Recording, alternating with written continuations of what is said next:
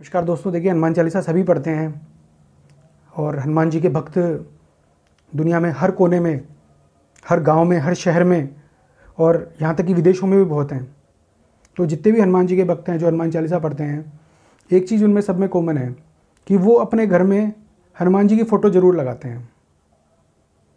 अब साहब, एक सबसे बड़ा क्वेश्चन दिमाग में आता है कि हनुमान जी की फ़ोटो हम लगाएँ पर कौन सी लगाएँ? तो ये जानने के लिए आप मेरा वीडियो देखिए। क्योंकि देखिए, कुछ फ़ोटो हैं जो हनुमान जी की मना होती है लगाना। क्योंकि उसके कुछ नेगेटिव पॉइंट्स आते हैं, वो बताऊँगा आगे मैं आपको कैसे।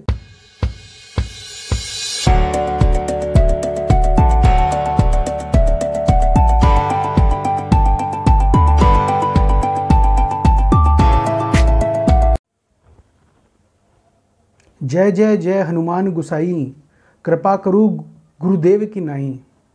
हनुमान जी महाराज एक ऐसे भगवान है, एक ऐसे देवता हैं, जो अपने भक्त पे गुरु की तरह कृपा करते हैं। इनकी लीला परम्पार है। जैसे गुरु होता है ना, वो अपने शिष्य से कुछ भी नहीं छुपाता। उसको हर चीज़ बताता है वो। उसको हर समस्या बताता है वो।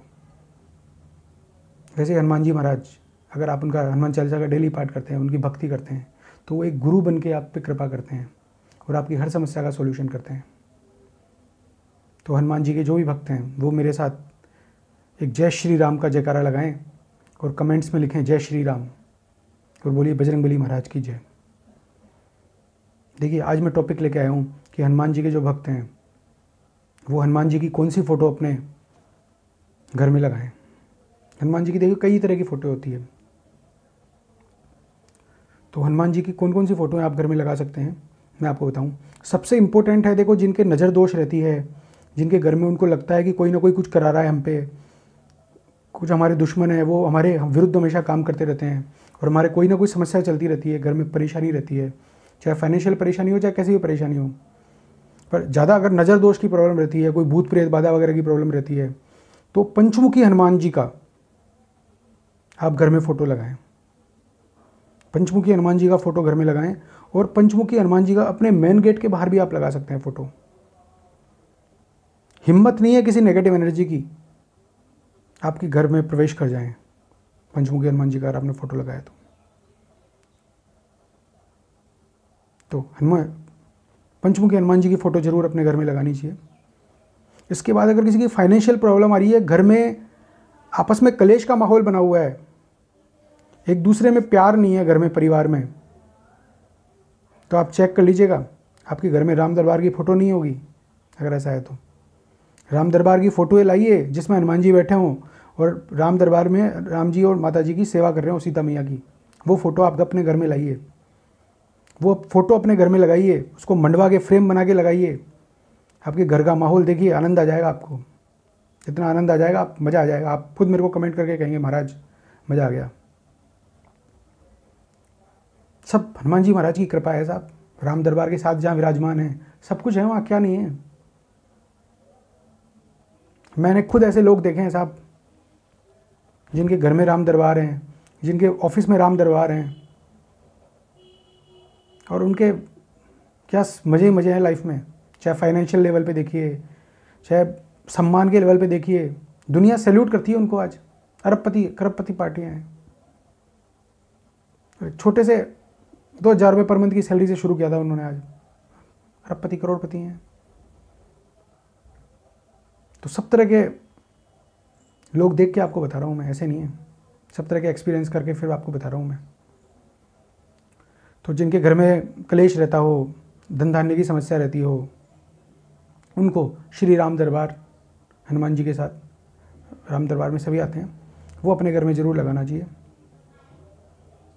इसके अलावा जो बच्चे हैं पढ़ने वाले पढ़ने वाले बच्चे हैं कुछ आप ऐसा काम करते हो जिसमें आप बौद्धिक रूप से आपको वो चाहिए एनर्जी चाहिए शांति चाहिए और आपकी बुद्धि तेज चाहिए ऐसा आप कोई आप, आप काम करते हो। तो आपको मैं बता रहा हूँ एक बहुत ही बढ़िया हनुमान जी का एक चित्र है ये वाला चित्र आप देखिए हनुमान जी का जिसमें हनुमान जी शांत मुद्रा में बैठे हैं और भगवान की भक्ति कर रहे हैं। मेडिटेशन कर रहे हैं, हनुमान जी मेडिटेशन कर रहे हैं। मेडिटेशन में क्या है, एक ही काम करते हैं, भाई, जय श्री राम, जय श्री राम श्री राम, जय राम, जय जय राम। अच्छा अगर आप कोई लक्ष्य लेके चल रहे हो ज़िंदगी में, वो लक्ष्य को पूरा करने में आपको समस्या आ रही हो तो आपको हनुमान जी का जो पर्वत उठाते हुए का चित्र है, वो आप लगा सकते हैं।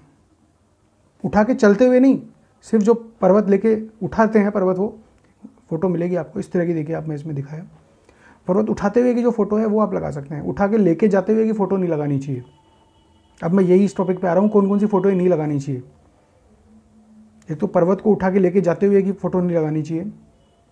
दूसरा आपको क्या करना है कि लंका दहन जो करते हैं ना ये, वो फ़ोटो आपको कभी नहीं लगानी चाहिए, देखो। थोड़ी सी नेगेटिव एनर्जी दे रही है वो तो वो फ़ोटो नहीं लगानी चाहिए घर में। क्योंकि जब वो लंका में जाते हैं, चारों तरफ़ आग लगा के, अग्नि लगा के, और फिर वहाँ से वो निकलते हैं। तो वो कहीं ना कहीं एक नेगेटिविटी उसमें आ रही है, वो आप आपने लगाएँ। दूसरा, भगवान जब क्रोध करें, हनुमान जी महाराज क्रोध करें, क्रोध की फ़ोटो आपको नहीं लगानी चाहिए। देखिए, हनुमान जी महाराज के क्रोध का तो आप, हम कर ही नहीं सकते सामना। क्योंकि उनकी कृपा में इतना पावर है तो सोचिए आप उनके क्रोध में कितना पावर होगा। हनुमान जी महाराज में इतना पावर था, वो कहते थे कि मैं चाहूँ तो अकेला रावण को मार दूँ, क्योंकि वो लंका को जला दिया था, उन्होंने प्रूव कर दिया था। बट उन्होंने ऐसा किया नहीं, क्योंकि वो सेवक है श्री राम के। और श्री राम जी ने इतनी आज्ञा दी थी कि आप जाके पता लगा के आओ। जी, सीता माता कहाँ हैं? तो जब तक उनकी आज्ञा नहीं होगी, जब तक वो नहीं करेंगे। नमन है ऐसे हनुमान जी महाराज पे, और भगवान श्री राम सीता माता की कोटि कोटि नमन। तो मैं आपको अपने टॉपिक पे आता हूँ दोबारा कि आपको इस तरह की फ़ोटो नहीं लगानी चाहिए, क्रोध अवस्था वाली फ़ोटो नहीं लगानी चाहिए और इसके अलावा आपके लंका दहन की फ़ोटो नहीं लगानी चाहिए। बाकी आप सारी फ़ोटोएँ लगा सकती है। बहुत अच्छी हनुमान जी की सेवा कीजिए आप। और एक चीज़ और आपको बता दूँ, जिनके मंगल दोष है और शनि साढ़े साथी की प्रॉब्लम चल रही है, जिनके मंगल दोष है वो मंगलवार से हनुमान चालीसा का पाठ करें। और जिनके शनि साढ़े सात चल रही है, वो शनिवार से हनुमान चालीसा का पाठ करें, फिर उसको कंटिन्यू करते रहें। और इसके अलावा मैं आपको